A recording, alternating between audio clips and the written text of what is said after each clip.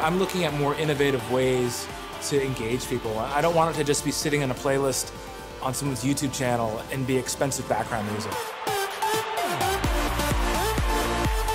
The big way uh, we're integrating VR is that I wanted to find a way to take you inside the world of a song.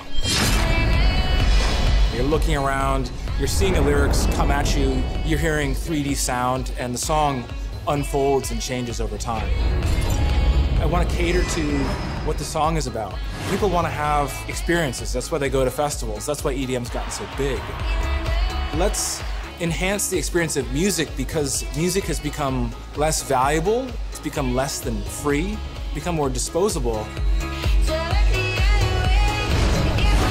There's got to be more interesting, deeper engagement with the fans, and I think that's what VR presents.